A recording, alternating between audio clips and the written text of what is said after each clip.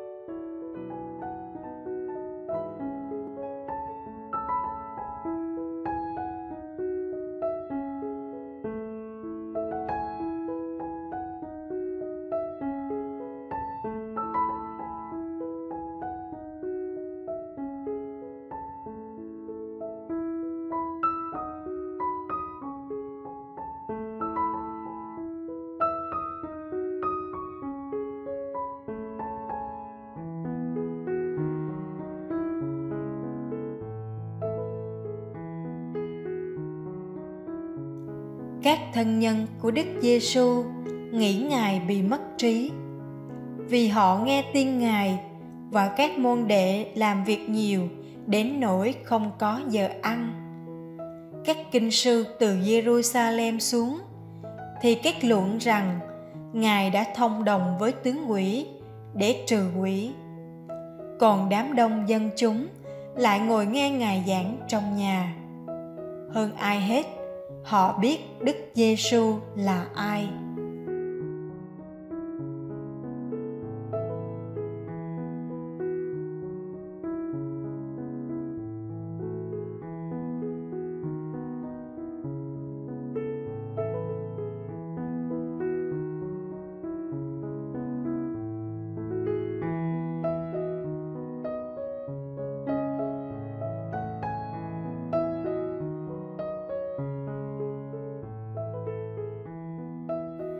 Chính lúc ấy, mẹ và anh em của ngài đến và đứng ngoài.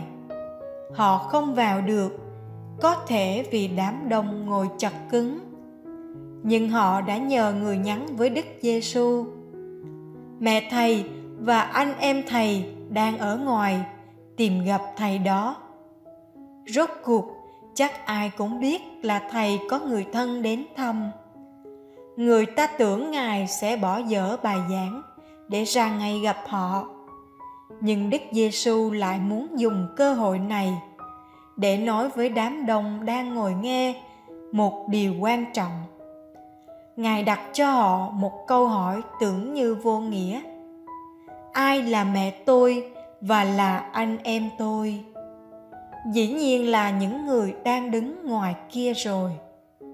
Nhưng không ngài đảo mắt nhìn những người đang ngồi và nói với họ, đây là mẹ tôi và anh em tôi. Với lời khẳng định này, đức giêsu loan báo về gia đình mới của ngài.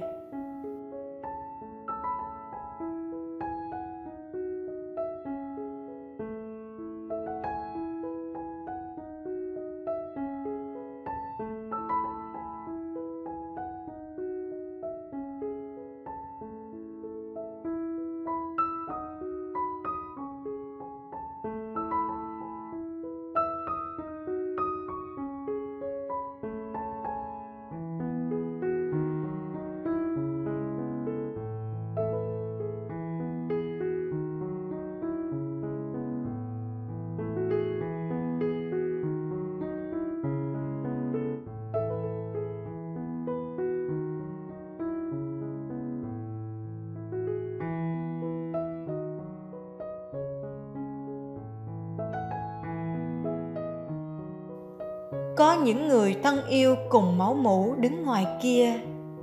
Có một gia đình mới đang ngồi trong này. Đức giêsu không coi thường hay loại bỏ gia đình ruột thịt. Nhưng ngài cho thấy, ngài còn có một gia đình lớn hơn nhiều. Một gia đình gồm những người rất khác nhau về nhiều mặt. Nhưng lại có một mẫu số chung, một điểm giống nhau. Đó là cùng muốn thi hành ý thiên chúa trong cuộc sống. Đức giêsu đã rời bỏ gia đình để lên đường loan báo tin mừng. Và ngài cũng đã mời gọi các môn đệ của mình như thế. Đức giêsu để lại người mẹ, phêrô để lại người vợ, gioan và Giacôbê để lại người cha. Tương quan gia đình trục thịt là điều cao quý thiêng liêng. Nhưng nó lại không được trở nên một cản trở cho sứ vụ.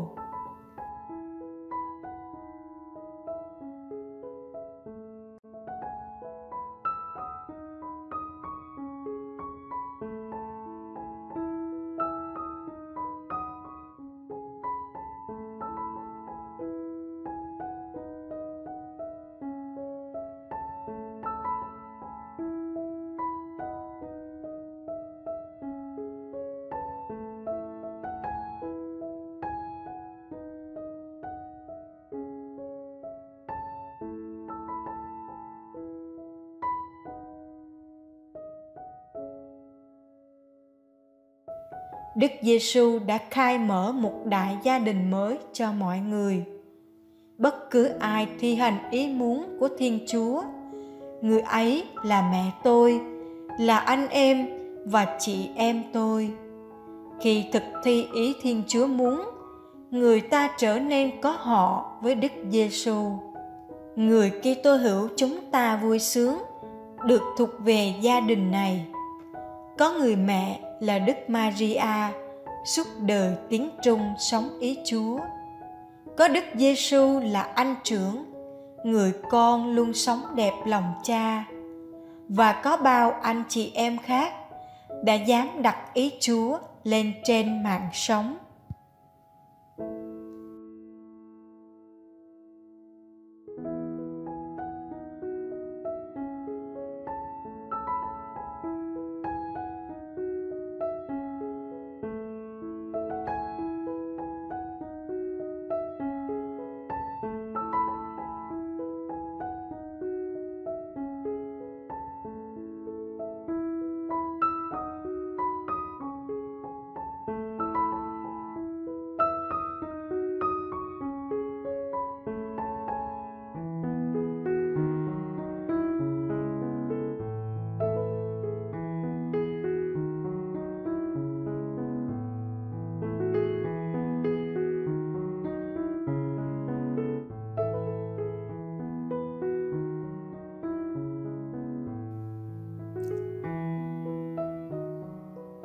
Lạy Chúa Giêsu, những hạt cải Chúa gieo vải cách đây hai ngàn năm, nay đã trở thành cây cao, cho chim trời rủ nhau trú ngụ. Nhúm men nhỏ bé được Chúa vùi vào khối bột, đã làm bột dậy lên, để trở nên tấm bánh thơm ngon cho thế giới.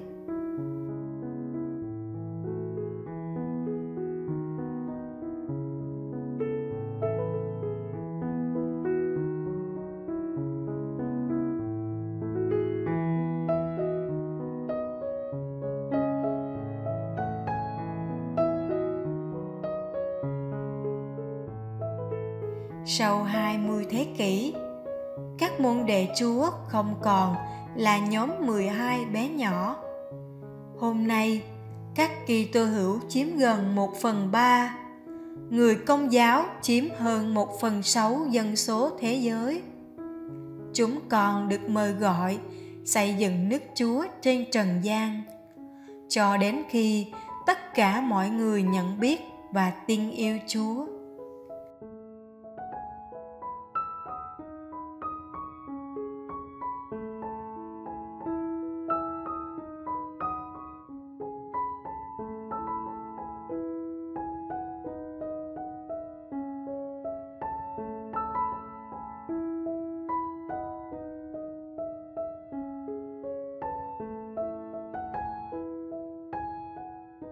Xin cho chúng con đừng mặc cảm.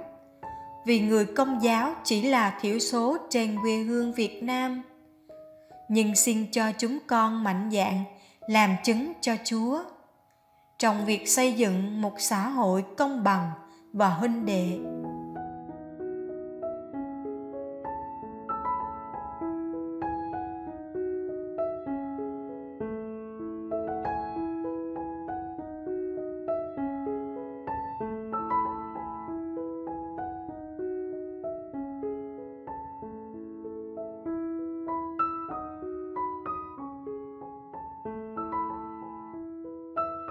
hôm nay chúng con phải tiếp tục làm việc như chúa.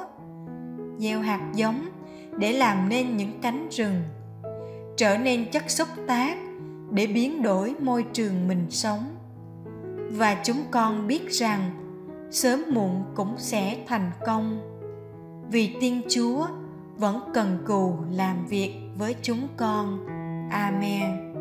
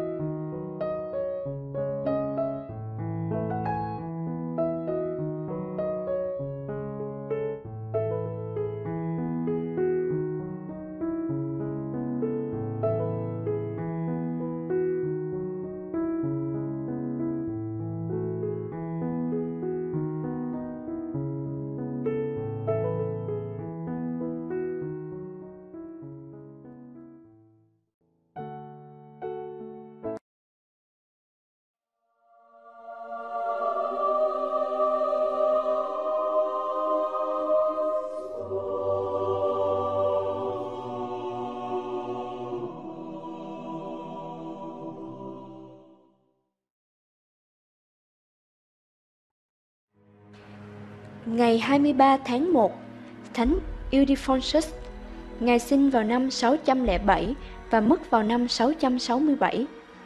Thánh Ildefonsus thuộc gia đình hoàng tộc, sinh năm 607 tại Toledo. Thánh nhân là cháu của Thánh Yukin thành Toledo. Cha mẹ Ngài son sẻ nên đã khấn cầu cùng Đức Mẹ và Ngài được sinh ra đời. Lớn lên, Ngài vào dòng tu Benedictine ở Agadia và sau đó làm viện phụ của tu viện này. Ngài được chọn làm giám mục Toledo. Ngài liền bỏ trốn, người ta phải đi tìm Ngài về và phong chức cho Ngài. Trong 10 năm thi hành chức vụ giám mục, Ngài tỏ ra là một đứng chủ chăn nhân lành, chăm sóc cẩn thận đoàn chiên. Ngài đã lưu lại rất nhiều bài giảng xuất tích và nhiều sách rất giá trị về việc tôn kính Đức Maria. Một trong những quyển sách danh tiếng là quyển Sự đồng chinh muôn thuở của Đức bà Maria. Ngài cũng là một người bên vật nhiệt tình ngày lễ kính Đức Mẹ vào ngày 18 tháng 12 tại Toledo mà Ngài gọi là những ân huệ của Đức Trinh Nữ Maria. Hai phép lạ đã xảy ra với Thánh Ildefonsus. Một lần vào ngày 18 tháng 12, khi Ngài vào nhà thờ đọc kinh sáng, thì thấy Đức Mẹ ngồi trên ngai, giám mục và có thiên thần trầu chung quanh. Rồi Đức Mẹ truyền cho Ngài một chiếc áo lễ và nói, đây là chiếc áo lễ mà con mẹ ban cho con để con mang mỗi khi con dâng lễ kính mẹ.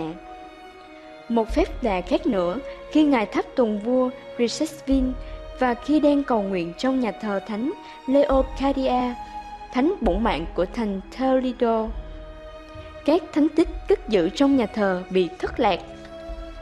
Thánh Leocadia đã chỉ bảo chỗ cho Ngài nơi thánh tích bị thất lạc và nói với Ngài, phúc thay cho ngươi, Ildefonsus, ngươi đã hết lòng tôn sùng nữ vương của chúng ta, phần thưởng dành cho ngươi thật lớn lao. Thánh nhân qua đời vào năm 667.